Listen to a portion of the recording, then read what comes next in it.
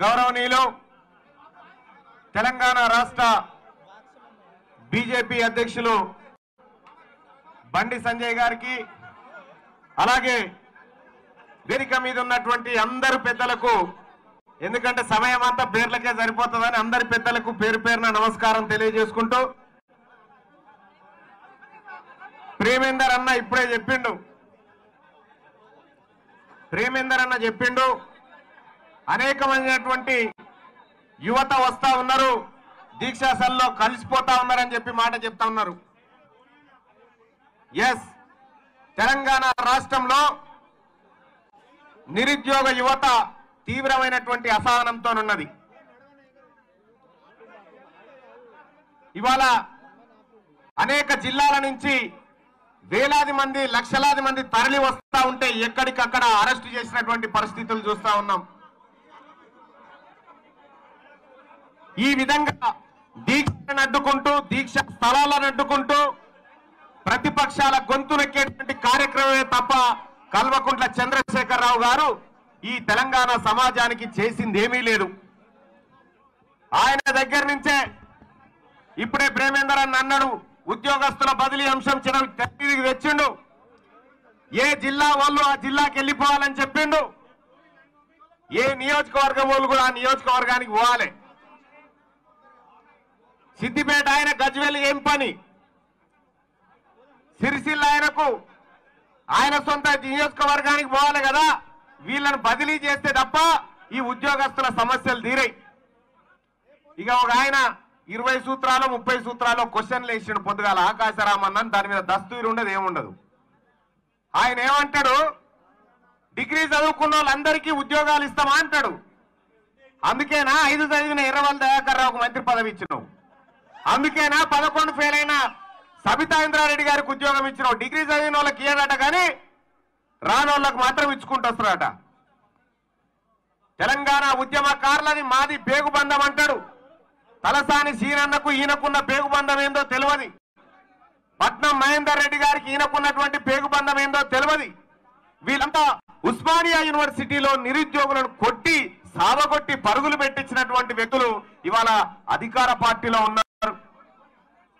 అటువంటి వ్యక్తులు ఇవాళ తెలంగాణ మంత్రులుగా ఉంటే తెలంగాణ ప్రజలకు ఉద్యోగాలు ఎక్కడి నుంచి వస్తాయని చెప్పి నేను అడుగుతా ఉన్నా. లక్షలాది ఉద్యోగాలు ఖాళీగా ఉన్నాయి. కేసీఆర్ ఉద్యోగం తన కుటుంబ ఉద్యోగాలు పోతే తప్ప ఇవాళ తెలంగాణ రాష్ట్రంలో నిరుద్యోగ యువతకు ఉద్యోగాలు వచ్చే పరిస్థితి లేదు. ఇక ఆయన ఏం చెప్పిండు?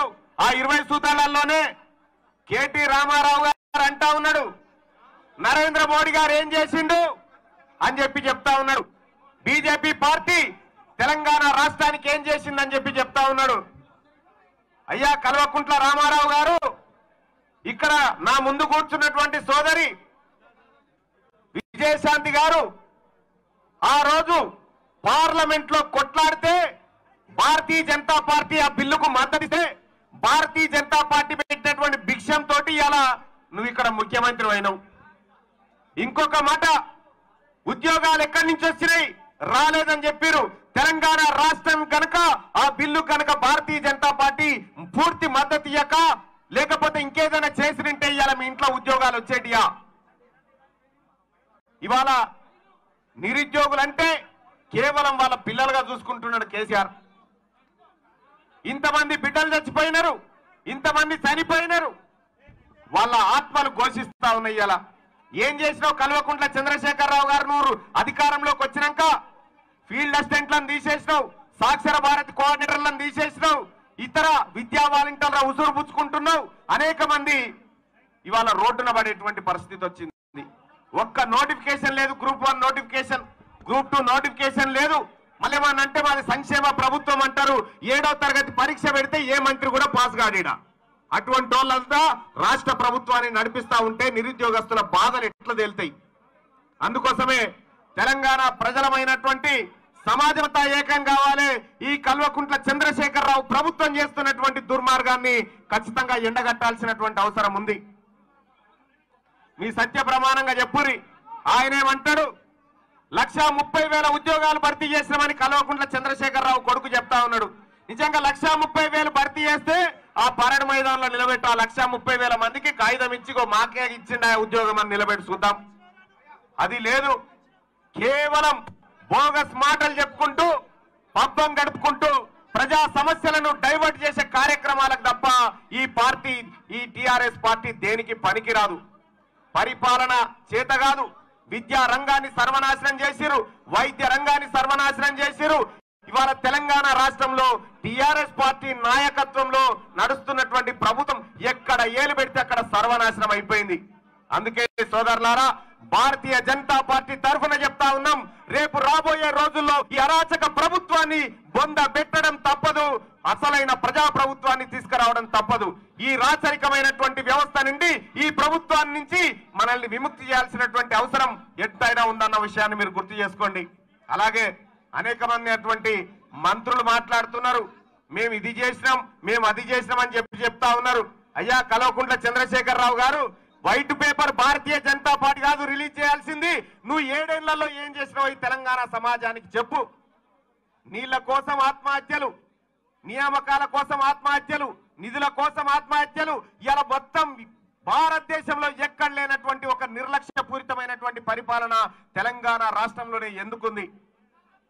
ఒకసారి కూడా గడిచిన ఏడేళ్ళుగా గడిచిన ఏడేళ్ళుగా సెక్రటేరియట్కు రాలేని ముఖ్యమంత్రి నెలకు టెన్షన్గా జీతం తీసుకుంటున్నాడు.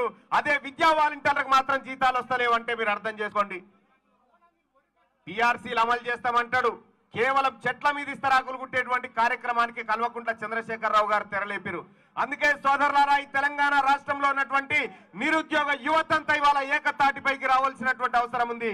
ఈ అధికార మదంతో ఊగులాడుతున్నటువంటి ఈ కల్వకుంట్ల పాలనను ఖతం చేయడానికి నిరుద్యోగ యువతంతా నడుం బిగించి ఇలా భారతీయ జనతా పార్టీ బండి సంజయ్ గారి నాయకత్వంలో ముందుకు సాగుతున్నటువంటి ఈ ఉద్యమంలో పాల్గొనాల్సిందిగా అందరికీ పేరు పేరున పిలుపునిస్తూ కొన్ని వేదికల మీద కొన్ని మాట్లాడాలి కాబట్టి మాట్లాడుతున్నా. ఈ కార్పొరేటర్ సోదరి మనలందరికీ పేరు పేరున నమస్కారం. ఎందుకంటే మీరు బాగా కొట్లాడారు భారతీయ జనతా పార్టీని హైదరాబాద్లో సగర్వంగా నిలబెట్టినటువంటి బిడ్డలు మీరంతా కాబట్టి ఈ తెలంగాణ అసలైన ఆడపడుచులకు అసలైన బతుకమ్మలకు పేరు పేరున ధన్యవాదాలు తెలియజేసుకుంటూ అవకాశం ఇచ్చినటువంటి ప్రేమేందర్ రెడ్డి గారికి మరోసారి ధన్యవాదాలు. భారతీయ జనతా పార్టీ అంటేనే అది మనువాద పార్టీ. మనువాద పార్టీ అంటేనే వాళ్ళ లా ఏంటిది? వాళ్ళ రాజ్యాంగం ఏంటిది? మనుస్మృతి. మనుస్మృతిని మళ్ళా పెంపొందించి ఒకనాటి అజ్ఞానవంతమైన